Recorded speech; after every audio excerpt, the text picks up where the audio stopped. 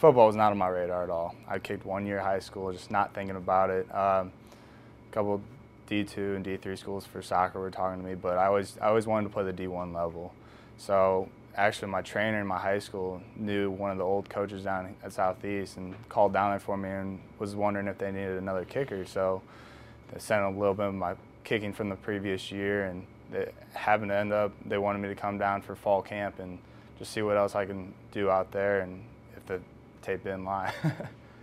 nah, it doesn't, it's, I mean, it still hasn't set in really. My parents are always like, do you believe this shit? Like, how crazy is this? You went on just not even thinking you're gonna play football to actually receiving a scholarship, and in the same year you're an All-American. Like, we're so proud of you and all this stuff. I'm like, it's all you guys. Because after my freshman year of after redshirting and all this stuff, I was like, football is not me. I was not good or anything. I was I was really thinking about going back home, leaving, and trying to play soccer somewhere else. But my parents really just pushed me to stay there in school and uh, stick with football.